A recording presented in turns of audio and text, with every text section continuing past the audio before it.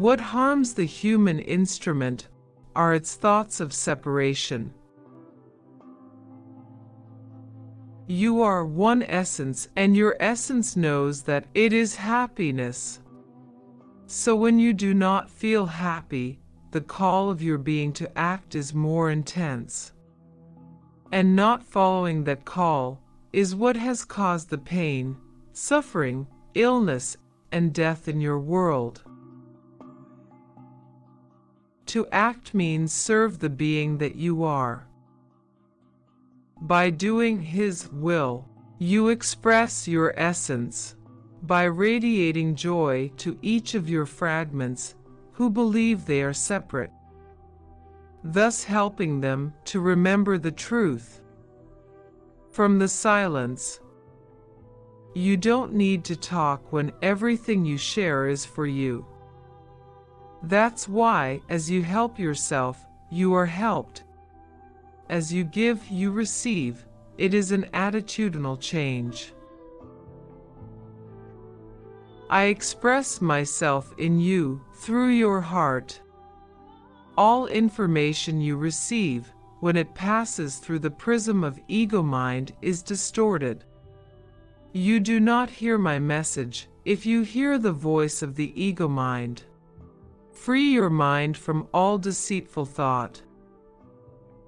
Concentrate on overcoming your temporal duties and focus your life on your heart, through which I communicate with you.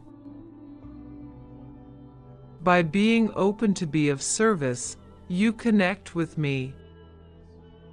That's when you get the inspiration to act.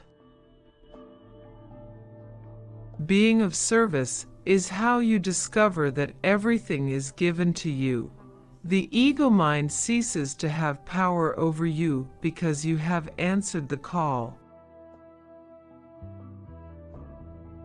All the events you live have the function of awakening you to the truth, and the truth is unmasked in silence.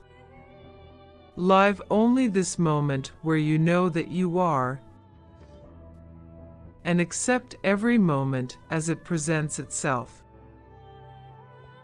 You will know what to do from the silence of your being.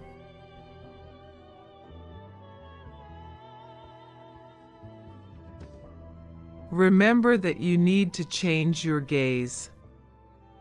True gaze doesn't end, doesn't stop. It does not see distinctions, differences, or separation. The true gaze is to see yourself in everything. If the voice you hear is that of separation, let it pass like a cloud carrying the wind. Don't cling to it. Keep your mind in silence, in peace. Breathe, feel me, smile, and love. If it is the voice of unity, follow it.